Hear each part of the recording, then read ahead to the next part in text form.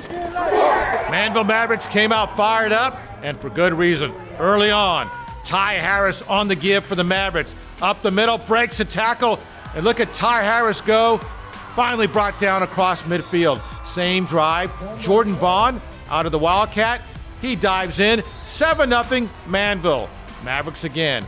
Gabriel Larry to throw to Jalen Waltall. He takes it, extends. Oh, they mark him down at the one. Three seconds left in the half. They go for the touchdown. DeMonte Seymour scores 17 0 at half in the third. Here's Seymour. Hill Seymour all the way for the score. He rushed for 172 yards and two touchdowns, 24 0 later in the third. Larry on the low snap, 360 spin, scores. Manvel wins 31 7. They will face Cedar Park New Year's Day in Bryan in the 5A Division One state quarterfinals.